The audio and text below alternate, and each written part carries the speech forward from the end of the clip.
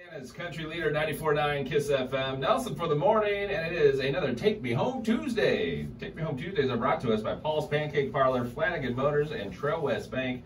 It's where we get together with the Humane Society of Western Montana and we try to find homes for these pets in need. And Jesse from the Humane Society in the studio with us this morning. Welcome back, Jesse.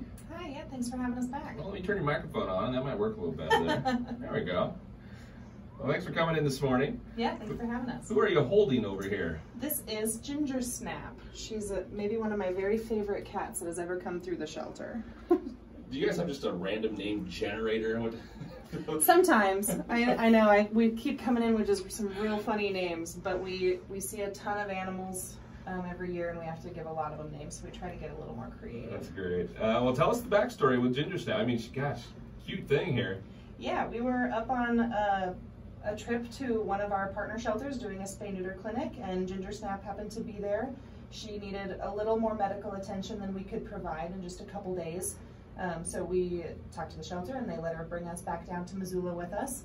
She had um, a really severe ear infection that actually caused her head to tilt to the side and she didn't have very good balance and had lost a lot of weight. Um, so yeah, she got to come back to the shelter with us and we started her on a treatment plan and she's getting a ton better. Does she, look, does she adapt to things pretty well? Have you noticed? Uh, just in the sense she kind of came in here and she was just right at the very start a little little leery, but then it seems like she just kind of was like, okay, now I can roll with the flow. Yeah, yeah, she's I mean a little nervous about new things as most cats are when you take them to a to a strange place, but she adapts really quickly. She's super social with people. Um, she's a little extra clumsy. She might be a little extra clumsy for her whole life. We're not entirely sure. Um, but yeah, she she loves people so much that she warms up really fast. She we also know that she is okay with cats, um, but she super doesn't like dogs. So she Oh, would love okay. to live in a cat household. All right, all right. Uh, what is what's what's the ideal situation for her? You kind of just got into that, but uh, as far as the attention that she'll need, with Yeah. saying she might kind of, kind of possibly have some issues for her, her days.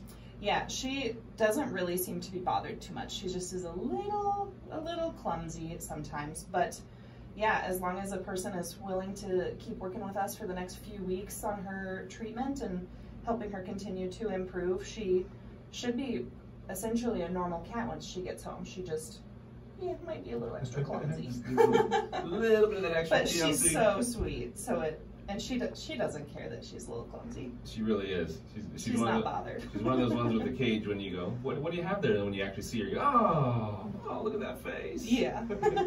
All right. Well, where can anybody uh, where can anybody go to see Gingersnap or any of the other animals you have over at the Humane Society? Yeah, you can always check them out on our website ahead of time, or we are open Wednesday through Sunday from 1 until 6. All right, You're my- welcome to swing by. myhswm.org.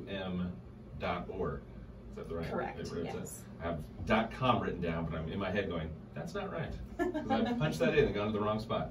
All right, you want to see uh, Gingersnap, any of the other pets? We're trying to find a home for them. It's our Take Me Home Tuesdays. Jesse, appreciate you popping in, and uh, let's find her a home. Yeah, absolutely. Oh, she, she just did a little meow right there at the end. we got to teach her to talk into the mic, though. Yeah. All right, Take Me Home Tuesdays with 94.9 KYSS, KYSS FM.